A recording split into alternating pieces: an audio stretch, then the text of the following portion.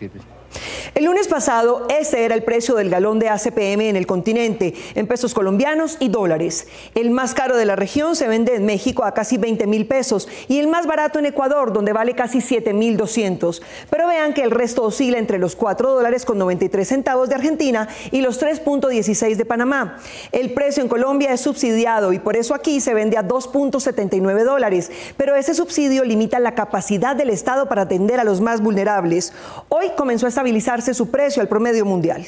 Tras permanecer cuatro años congelado, el precio de la CPM subió. El gobierno hizo un aumento de 1.904 pesos en el galón del combustible a partir de este sábado, pasando de 9.456 pesos a 11.360 pesos en promedio en las principales ciudades del país.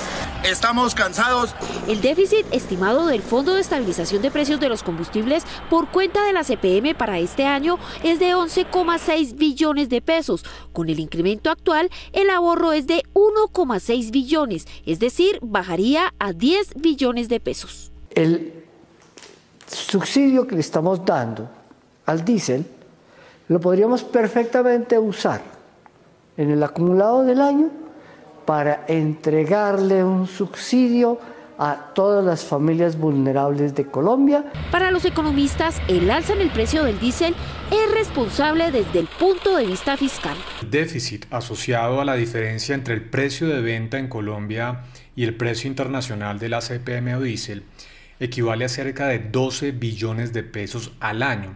Esto es el tamaño de la nueva reforma tributaria que está proponiendo el gobierno nacional.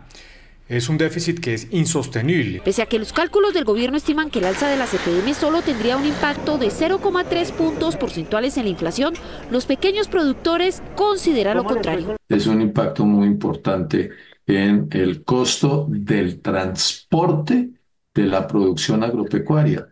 tenemos un problema, que es cuál? Es que finalmente los más débiles en la cadena son los productores agropecuarios. Aunque los transportadores no descartan un paro o llegar a un acuerdo con el gobierno para que les suba el precio del flete, reconocen que se podría presentar especulación con el alza en el precio de los alimentos. Como lo hemos visto hoy en, grandes superficies y en tiendas de abarrotes y, y lo que tiene que ver con centrales de abasto, ya comenzaron a subir los precios inclusive de aquellos bienes o productos que ya tenían ellos almacenados con anterioridad a la suba del combustible. Si el precio de la CPM logra cerrar este año con un alza de 3 mil pesos, alcanzando un precio promedio por galón de 12 mil 360 pesos, el déficit del Fondo de Estabilización se reduciría a 9,2 billones de pesos, lo que representaría un ahorro de 2,4 billones de pesos.